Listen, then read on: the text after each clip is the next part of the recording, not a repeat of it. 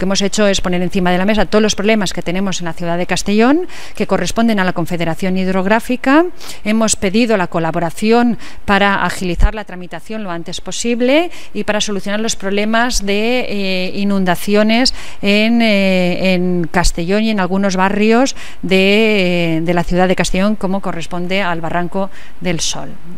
Eh, también hemos hablado del Barranquet y una construcción que había en, el, en los términos de Almazora y de, y de Castellón y bueno, sobre todo eh, nos hemos emplazado a eh, hacer reuniones monográficas de temas porque es un, hoy ha sido un primer contacto y ha sido una petición de que la Confederación pues invierta en la ciudad de Castellón eh, para evitar el máximo número de inundaciones en, en nuestra ciudad.